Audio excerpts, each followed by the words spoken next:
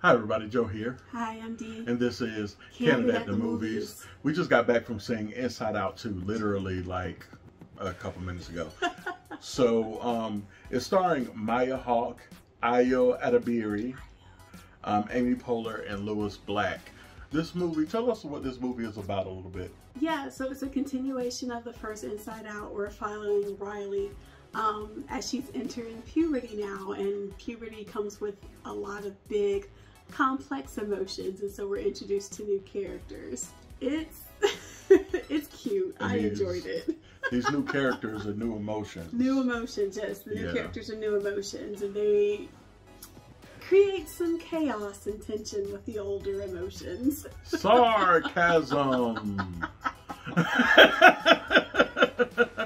yeah, so it was a really good movie. It was really good. It was cute. It was very Um, it was animated the same as the last same one. Same style. mhm. Um, and the plot was a little different because you know Riley's a little older. Older. Mhm. She's got these friends now. Mhm. Um, you know, because in the last movie, you remember her not really like knowing anybody. in, and- fitting in, and yeah, because they had just that. moved. They just moved. Yeah, so she's you know going into high school now. So we skipped a lot We of skipped her some life. years, Yeah, yeah. we skipped some years. but um, I think that you know just with the um, introduction of anxiety into the picture, just chaos. It was glorious chaos. glorious chaos. Um, I think that it was, uh, as far as like the plot goes, I think that it was solid. Yes. What do you think? I think it was really solid too. I liked the way that they introduced the um, the newer emotions because it literally was like a night and day difference, Yeah. and that's how puberty is. It feels like it's a night and day difference. Um, Construction. we're gonna take a break. You're not finished yet, Oh, we know. We'll be back. and it never came back. Nope. Just left everything there. Oh, but it it Pot I. I like the fact that um, so the, the the focus really is on this new emotion of anxiety and what it causes and what it creates if it's allowed to grow and things. And I like the fact that it kind of gave an inside view of people who suffer from anxiety, where it's just it's you get into a spiral and once you're in that spiral it's just more and more and more chaotic and chaotic and you really need help in order to kind of break that cycle yeah.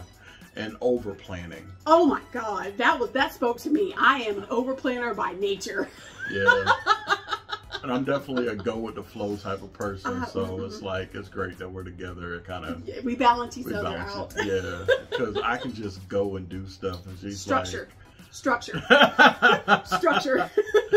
but um, there were also some uh, lessons for joy as well. Yes, I the the takeaway that I really got from that is again, um, toxic positivity is not going to save you. If anything, it's going to do more more harm to you because you've now created a false sense of self built from this um, this toxic positivity. Yeah. Also, good sign. We went and saw it in IMAX, We did and the movie theater was mostly Full. kids. well. It was mostly kids, Mhm. but it was full, It and that's something that I haven't seen in a while. in a while, I think the last one was, yeah, it's because even Furiosa wasn't full like yeah, even that. Furiosa wasn't as full as that. So I expect a great deal of money coming in for um, Inside Out. This, yeah, this time around. yeah, perfect, perfect time letting out the the a week after school hmm let out and everything here in Greensboro. So great timing. Great timing. Um, so you know, some of the kids were funny in the movie. Um, the uh, you know, the whole idea of over practicing, over planning, over planning, over preparing. yeah, and trying to get people to like you and stuff. Basically, dismantling yourself in order to to fit in, and how Yeah. that just in the end does not work. Never works. Never works.